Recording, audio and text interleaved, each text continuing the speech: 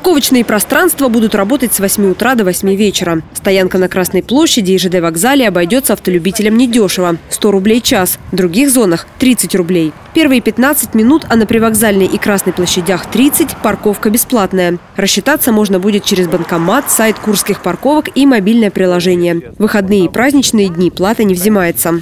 Оплату можно производить не обязательно в момент осуществления парковки – а до конца текущих суток, то есть до 24.00. Вдруг кто-то забыл, там, я не знаю, телефон не смог это сделать. Сбор информации по транспортным средствам, которые находились на парковках, чтобы определить, кто оплатил, кто не оплатил, осуществляется после 24 часов. Для некоторых льготников парковки будут бесплатными. Это инвалиды первой и второй группы, ветераны Великой Отечественной, узники фашистских лагерей, многодетные, участники СВО и члены их семей, почетные доноры. Документы необходимо подать в городской комитет дорожного хозяйства заблаговременно. Набор документов, которых он минимальный. Это документ, удостоверяющий личность, это документ на транспортное средство, на его.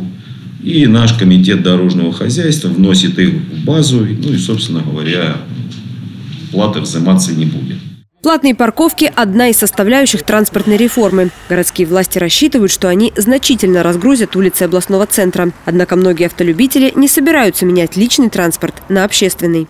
Допустим, как э, отец двоих детей, ну, не могу сказать, что прям вот под горочку, там, дойти до транспорта нужно с ними еще, один маленький, другой чуть постарше, все равно это нужно тянуть, вот, то есть преодолеть это расстояние, потом сесть в автобус и опять куда-то дойти, то есть все равно личный транспорт, он выигрывает в удобстве, по крайней мере, для Э, того, чтобы для передвижения по городу с детьми.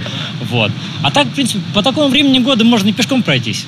Штраф за неоплату парковок составит тысячу рублей. Ирина Валерьева, Максим Леонов. События дня.